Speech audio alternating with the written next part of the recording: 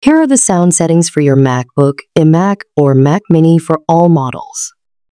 You can quickly change and set the output device from the control center. Open the control center from the top Mac menu, select Sound, and check the current output device. My default output speaker is the MacBook's built-in speaker. Or change it from here. Select the other audio device of output sound. Ensure that the volume slider is set on the correct position. To quickly access, you can set the sound shortcut from the top menu, like this. Just drag and drop the speaker icon to the menu bar. And easy to access from any screen. To access other sound settings, click on Sound Settings under the Control Center or Shortcut menu list. As you can see, all output and input devices are listed here.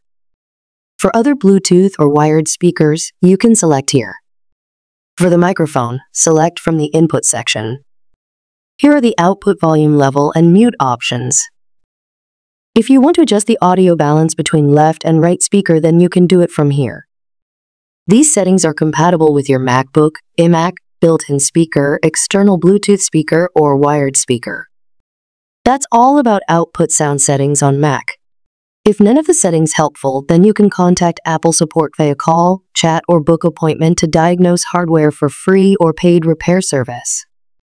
Watch my separate tutorial on how to book appointment at Apple Genius Bar.